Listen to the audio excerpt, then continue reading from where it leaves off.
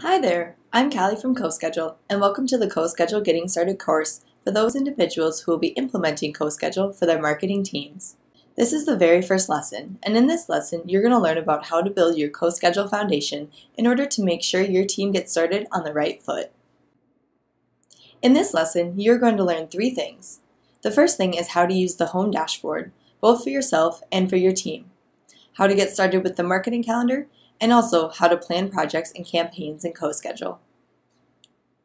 So you've come to CoSchedule with the promise of completing more work, delivering more projects on time, and also proving the value of your marketing team. This lesson will walk you through how to lay the foundation for all these things in order to achieve the outcomes that we promised you when you first purchased CoSchedule. The first thing you're going to learn about is the Home Dashboard. The Home Dashboard is where you and your team will go to see your daily tasks and priorities. You can also stay up to date with the notifications feature to make sure everybody is in the know about comments and things that are happening in each project. You can also favorite projects in order to jump back in where you left off very quickly. I'm going to jump over to the CoSchedule calendar to show you the home dashboard in real life. Here is where you will see all of your daily tasks and priorities. If you need to remind yourself to complete a certain task, like respond to an email for instance, you can create a new task and this will be a private task to-do list which means that no one else on your team will be able to see the tasks you create from the home dashboard. On the right hand side here, you will see notifications. So whenever someone adds a new comment or marks the task as complete, you will be notified here. You can also see recent projects. So these are things that you have been recently working in. Or you can move over to your favorites. As a manager, this is a really important functionality because it allows you to favorite projects that are very important, and it's the types of things that you want to stay on top of and make sure that the deadlines are being met and all of that. It's great for your team to be able to hop into their projects quickly in order to get things done as fast as possible. The next thing I'm going to talk about is the marketing calendar. This is kind of the backbone of all of your marketing strategy and all of your marketing planning. The main three things that the marketing calendar does is first of all, it increases visibility into your marketing roadmap. It also serves as the blueprint so all of your team are in the know about different events, the content that is being planned, the social media message that are going out, etc. It also allows you to see a bird's eye view of how every marketing project you are working on overlaps and supports all of your marketing goals at once. I'm going to pop back over to the CoSchedule calendar so you can see the marketing calendar in real life. In order to find the marketing calendar from the home dashboard, click the marketing calendar option here. Here's a real-life version of what the CoSchedule calendar will look like once you start adding marketing projects, marketing, marketing campaigns, and social media messages. Your marketing calendar is made up of four things. Marketing projects, which are standalone items like tear sheets or sales slide decks that don't work towards a wider goal. A marketing campaign, which is a series of marketing projects that all work towards the same goal, like a product launch, for instance. They might have social media messages, emails, tear sheets, white papers, blog posts, and more. All of these things that work together towards accomplishing one goal. You'll see standalone social media messages, and you'll also see individual tasks on your calendar. Let's move back over to the calendar so I can show you what these look like. Once you start adding things to your calendar, you'll be able to see standalone marketing projects like this one. If you click in, you'll see an area to add attachments, like Google Docs, social campaigns, and other files. You'll see tasks and all that good stuff that you'll learn more about in future lessons. So we'll go ahead and cancel out of that project and move on to a marketing campaign. So here is an example of a marketing campaign in CoSchedule. If we open up that campaign, you'll see a mini calendar that consists of only the things that are tied to this campaign. This gives you an idea of email cadence and it also gives you an idea of how much you have planned for this individual campaign.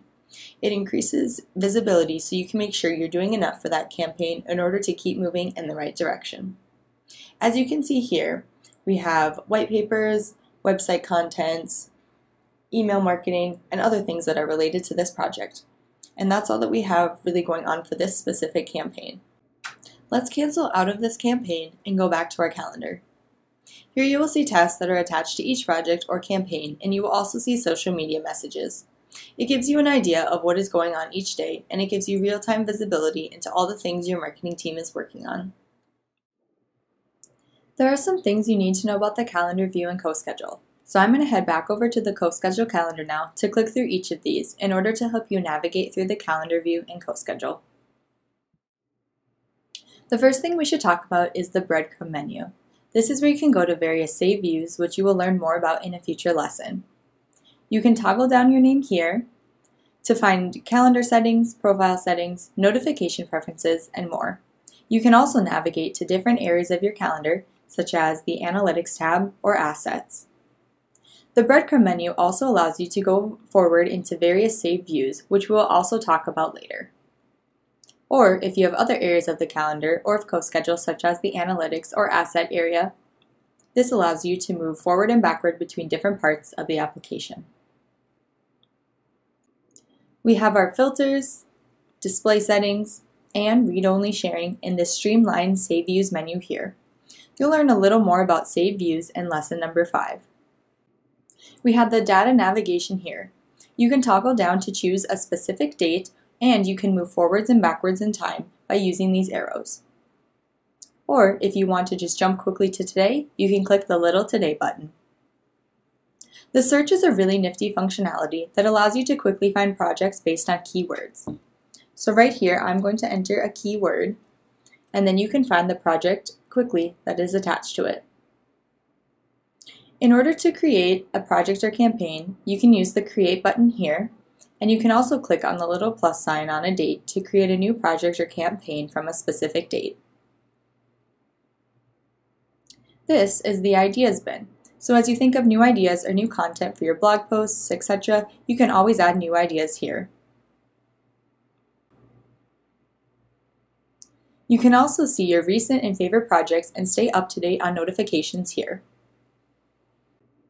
The question mark is the Support Center. So if you have any questions about how to use a certain functionality in CoSchedule, you can find power tips here, or you can chat directly with a support agent in the calendar. The next thing we're going to take a deeper dive into is how to plan a marketing project on your calendar.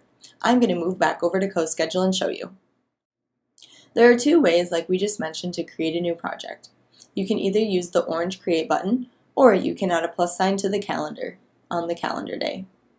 You'll see an option pop up that asks what type of thing that you're going to be creating. So I'm going to choose project because this is a test standalone marketing project and I'm going to give it a name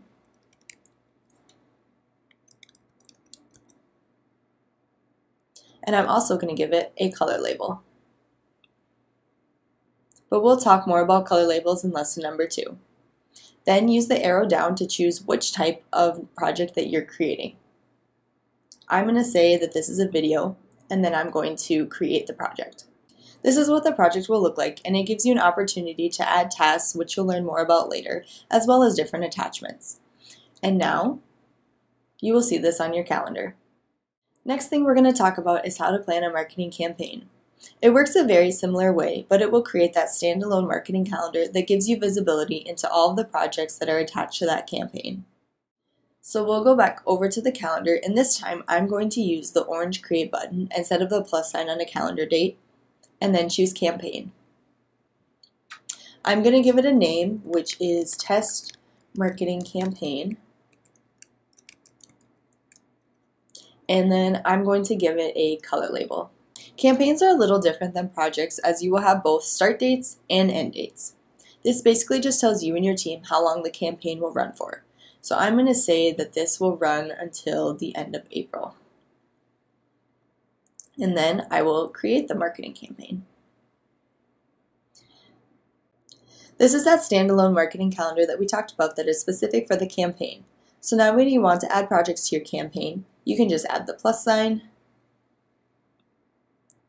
go to project, and then we'll do this one as test campaign project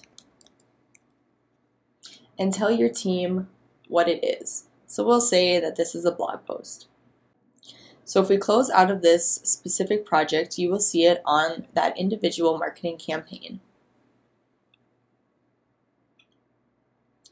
So now if we close out of the campaign calendar, it will bring us back to our general marketing calendar. All right, we finished the first lesson in the CoSchedule Getting Started course. Thank you so much for joining us. In the next lesson, lesson number two, we will be talking about color labels and how to customize CoSchedule for better visibility.